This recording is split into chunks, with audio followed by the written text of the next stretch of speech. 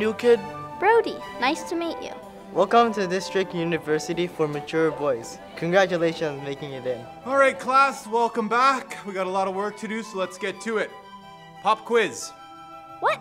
Pop quiz already? What, you can't handle some simple mathematicians? You're afraid of algebra? That's an F for fail.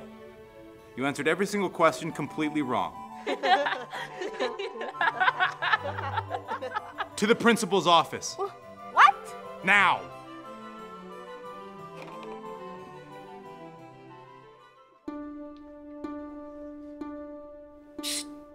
You new kid? You failed your first quiz too? Yeah, how'd you know? I failed my first quiz too. Word of advice is to answer everything wrong.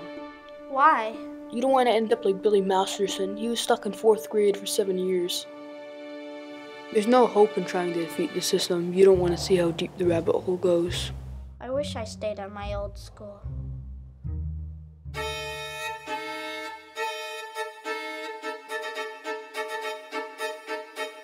Are you sure we shouldn't try to incorporate district standards? Our students can't keep up with the rest of the province. Must I remind you what happens when students do well? The less our students know, the more money the board invests in our schools. So what? The richer our school gets, the richer we become.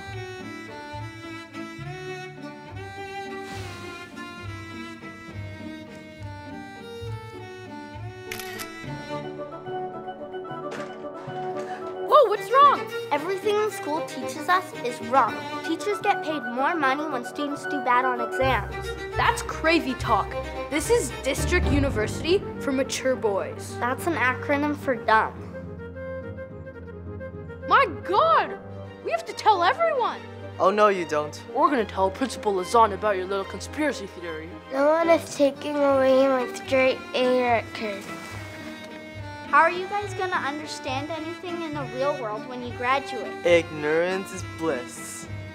Boys, what are you doing outside during class time? Principal Lazan, these two students don't like the way you run the school. They don't, eh? Well, we have a way of handling wayward boys. Lobotomy. Just like Billy Masterson. Your time as principal is over. And what makes you so sure? I've already uploaded a picture of your evil plan. Everyone's gonna see it. No! Brody, I just wanted to thank you. I just got my test results back, and they are genuine straight A's.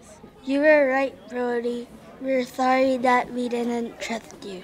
Don't mention it, guys. I'm glad that everybody's goodly knowledged now.